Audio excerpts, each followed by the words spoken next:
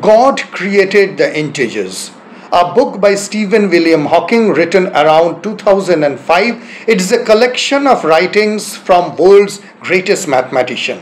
Well, these are actually historical and philosophical insights and the book's coverage is great.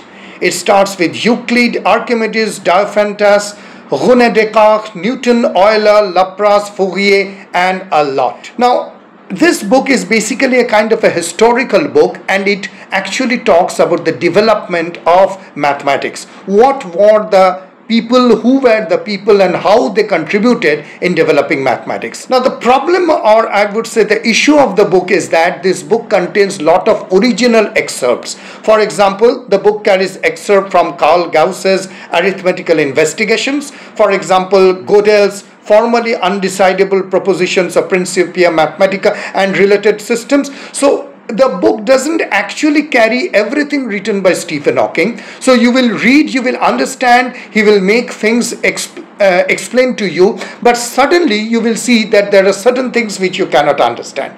And the reason is that this carries original excerpts of Archimedes, Laplace, Gauss, Bolyai, and various other people. For example, while talking to Gauss, he writes that 317 is a prime number not because we think or so because our minds are shaped in one way rather than another but because it is so because mathematical reality is built in that way now this is written by G.H. Hardy and he says this is what Carl Gauss's genius is you cannot think why is he is just because it is not it is what the mathematical reality talks about.